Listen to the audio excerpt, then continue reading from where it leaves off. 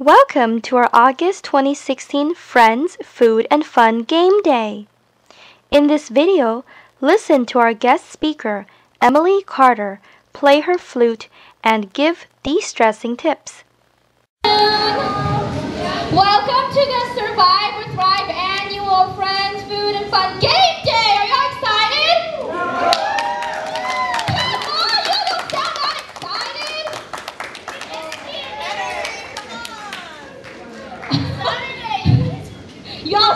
Y'all like you're taking a afternoon nap or something. Oh, is that so? All right. Anyways, thank you for taking your time to come to the game day.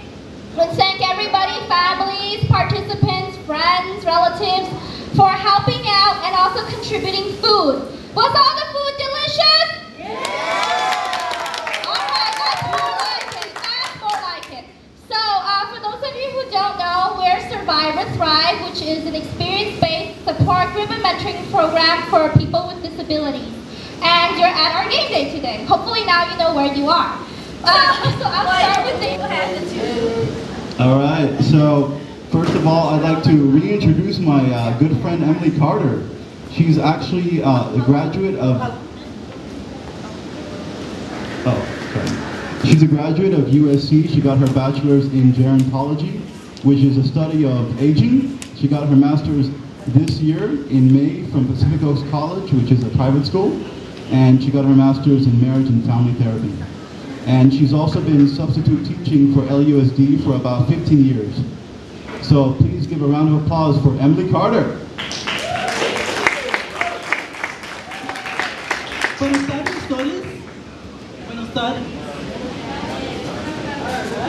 When I get anxious or stressed, or times when I feel down, I do is um, I do yoga.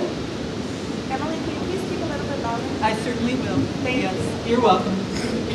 So uh, if I get stressed or anxious or I feel depressed or if I get angry, what I do, I do yoga and meditation. Um, I also knit. So I, I love knitting. I'll knit sweaters. That's the thing that I really enjoy doing. Um, I do photography. And another thing that I like to do is be out, be out in nature. Is my voice quality, is that a little, is it a little better to understand me now? To hear Yes. me better now? Okay, great. So one of, the- one of the things that we're going to do right now, we are going to uh, do some breathing exercises. Okay? So when you do breathing exercises, if you're feeling anxious, it certainly helps you to bring back to center. Okay? So I'm going to describe a breathing exercise that you can certainly do anytime. Okay? The first breathing exercise, I'm going to ask you to inhale through your nose to a count of four and hold your breath. And then exhale through your mouth to a count of four. Let's do it again. If you like, you can close your eyes. It's up to you. So you're going to inhale through your nose to a count of four. I'll let you count. And then exhale through your mouth to a count of four. We're going to do it two more times. Inhale through your nose. One, two, three, four. And exhale through your mouth. Four. One more time. And so I'm going to close out by having you do a, a short visualization. Uh, someone talked about like, you know, one of your favorite places to be is Camp Bloomfield, right? Yeah. Yes. Okay. So I'm going to have you close your eyes and think about that four Camp breath where you inhale through and you exhale uh, through your mouth. Okay? And imagine yourself at your favorite place. Okay? Maybe anywhere. Yeah. Maybe a camp field or the beach or a garden. Wherever you like. So I want you to continue imagining that you are at your favorite place. Wonderful, everyone. Great job. Simon you to come out of that visualization, and my last thing to share is I have my orchestral flute to play. So my silver flute that I use in, or- in orchestras. Uh, can I have a volunteer to hold up this microphone for me? One volunteer. Maybe someone who's, oh great, thank you very much. I really appreciate that. So, if you hold it up like that, that would be great. Thank you.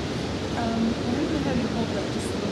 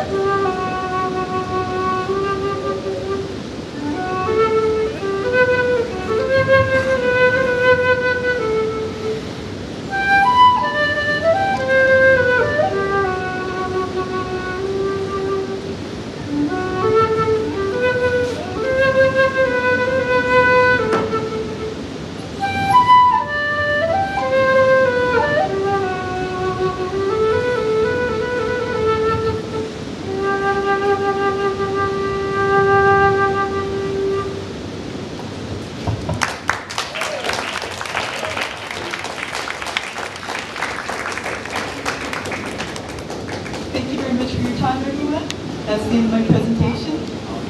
So happy to meet you all. Thank you very much. Thanks for watching, and we hope to see you in our next video.